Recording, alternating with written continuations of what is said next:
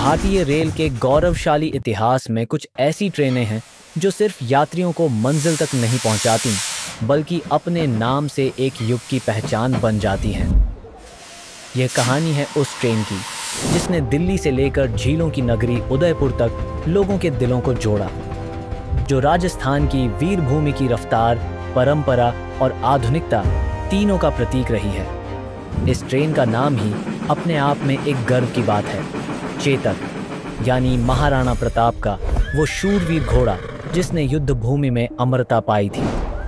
उसी वीरता और दृढ़ता की भावना को आगे बढ़ाते हुए भारतीय रेल ने इस ट्रेन को चेतक एक्सप्रेस नाम दिया। और फिर शुरू हुआ इसका ऐतिहासिक परिवर्तन, मीटर गेज से ब्रॉड गेज डीजल ट्रैक्शन से इलेक्ट्रिक ट्रैक्शन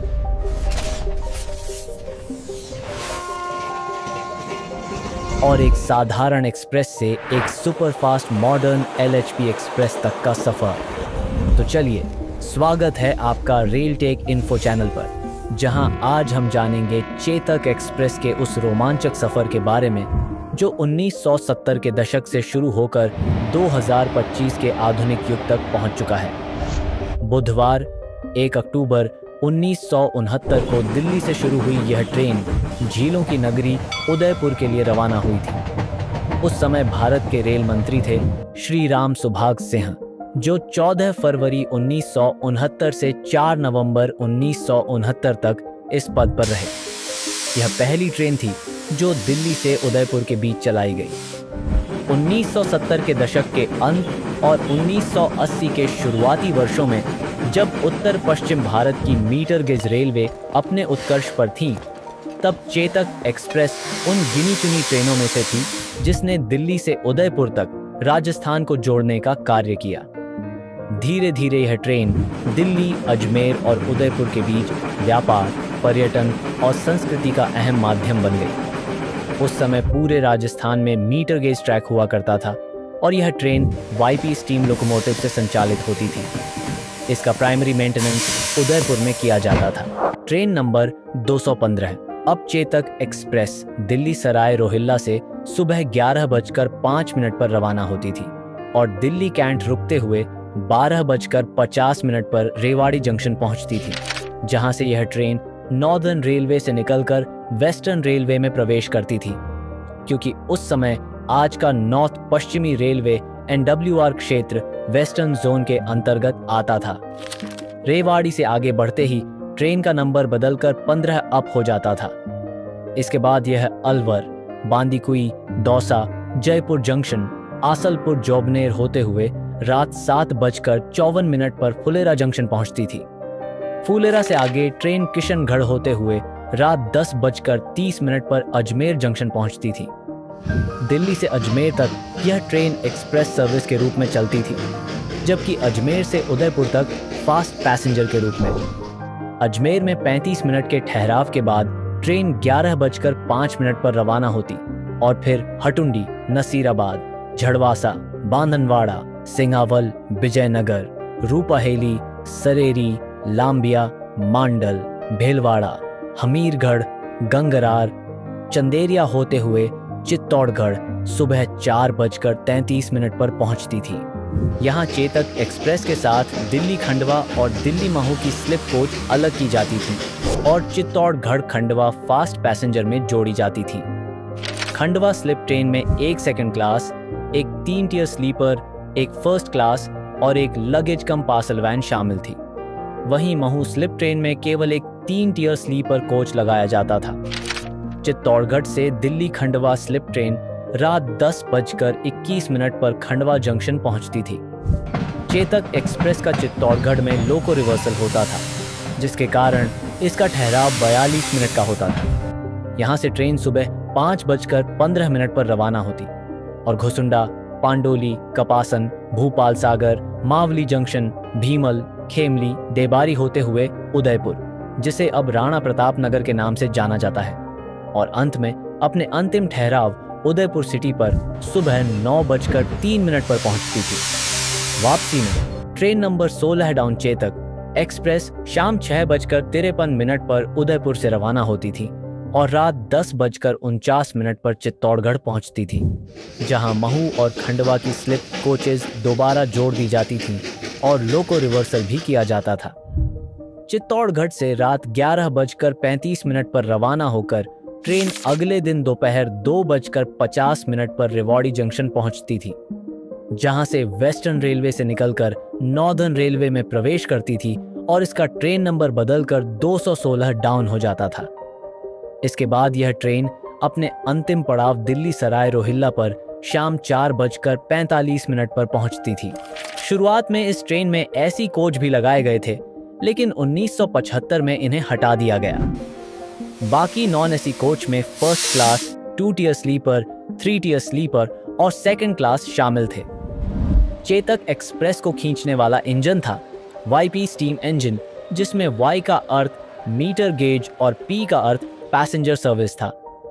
उन्नीस तक आते आते चेतक एक्सप्रेस को दिल्ली सराय रोहिल्ला की जगह दिल्ली जंक्शन तक बढ़ा दिया गया और इसके टाइम टेबल में भी बदलाव हुआ। अब यह ट्रेन दिल्ली से दोपहर बारह बजकर पैंतीस मिनट पर रवाना होती थी और दिल्ली से बांदीकुई के बीच कई नए ठहराव जोड़े गए थे, जैसे गुड़गांव, पटौदी रोड, खैरथल, राजगढ़ और जयपुर गांधीनगर। अब यह ट्रेन रात बारह बजकर बीस मिनट पर अजमेर पहुँचती थी। धीरे धीरे यह ट्रेन अब अजमेर से उदयपुर के बीच पैसेंजर नहीं, बल्कि पूरी तरह एक्सप्रेस सेवा बन गई। इसीलिए इसके ठहराव घटा दिए गए।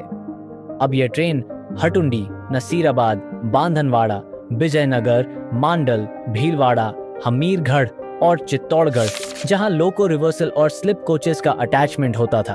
उसके बाद भोपाल सागर, मावली जंक्शन, राणा प्रताप नगर और अंत में उदयपुर सिटी पर सुबह नौ बजकर दस मिनट पर पहुँचती थी। सन उन्नीस सौ नवासी, भारतीय रेल के इतिहास में एक बड़ा बदलाव आया। एक अक्टूबर उन्नीस सौ नवासी को इंडियन रेलवेज ने पूरे देश में एक चार डिजिट यूनिवर्सल नंबरिंग सिस्टम लागू की।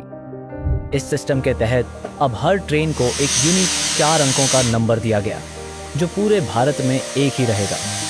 इससे पहले ज़्यादातर ट्रेनों को केवल तीन अंकों का नंबर दिया गया था, जो सिर्फ़ अपने अपने जोन में यूनिक होते थे। मतलब यह कि अलग अलग जोनों में एक ही नंबर की दो ट्रेनें हो सकती थी, जिससे काफ़ी कंफ्यूजन होता था। नए सिस्टम ने इस समस्या को हमेशा के लिए खत्म कर दिया। इसी बदलाव के साथ चेतक एक्सप्रेस का नंबर भी बदलकर 9615 अप और 9616 डाउन कर दिया गया। और अब इसमें फिर से ऐसी कोच जोड़े गए। स्टीम इंजन का दौर अपने अंतिम चरण में था, और अब यह ट्रेन चलने लगी थी वाइट फोर डीजल लोकोमोटिव के साथ। जो मीटर गेज पर इंडियन रेलवेज के सबसे भरोसेमंद इंजन माने जाते थे। अब ये ट्रेन दिल्ली से दोपहर एक बजे रवाना होती थी और क्रमशः Delhi Sarai Rohilla, Delhi cantt, Gurgaon, Pataudi road, Rewari junction, Khairthal, Alwar Malakheda Rajgarh, Baswa, Bandikui junction, Dausa, Gandhinagar, Jaipur, Asalpur Jobner, Phulera junction, Kishangarh, Ajmer, Hatundi, Nasirabad, Bandanwara Vijaynagar, Mandal, Bhilwara, Hamirgarh, Chittorgarh junction, Bhopal Sagar, Mavli junction, Rana Pratap Nagar. होते हुए अगले दिन सुबह नौ बजकर पंद्रह minute पर Udaipur city पहुँचती थी। उन्नीस सौ पंचानवे तक आते आते दिल्ली जंक्शन पर जहाँ मीटर गेज लाइन थी, वहाँ ब्रॉड गेज का काम शुरू हो गया था। इस कारण से चेतक एक्सप्रेस को अब दिल्ली सराय रोहिल्ला से चलाया जाने लगा। साथ ही दिल्ली से जयपुर के बीच भी ब्रॉड गेज कन्वर्जन शुरू हो चुका था। दिल्ली से रेवाड़ी तक दोहरी मीटर गेज लाइन थी, जिसमें से एक ट्रैक को ब्रॉड गेज में बदला जा रहा था। इसलिए चेतक एक्सप्रेस अब रेवाड़ी तक तो आ सकती थी, लेकिन रेवाड़ी से जयपुर के बीच सिंगल मीटर गेज लाइन को कन्वर्ट किया जा रहा था। इस वजह से ट्रेन को रेवाड़ी रिंगस कोड लाइन के रास्ते से जयपुर तक चलाया जाने लगा। अब इस रूट परिवर्तन के कारण ट्रेन को जयपुर जंक्शन पर लोकोमोटिव रिवर्सल करना पड़ता था। नए रूट पर इस ट्रेन के कुछ नए ठहराव भी जोड़े गए रिंगस श्री माधोपुर नीम का थाना और नारनौल। अब यह ट्रेन दिल्ली सराय रोहिल्ला से दोपहर एक बजकर बीस मिनट पर रवाना होकर अगले दिन सुबह नौ बजकर पच्चीस मिनट पर उदयपुर सिटी पहुँचती थी। उन्नीस सौ अट्ठानवे तक आते आते चेतक एक्सप्रेस का नया टाइम टेबल लागू हुआ।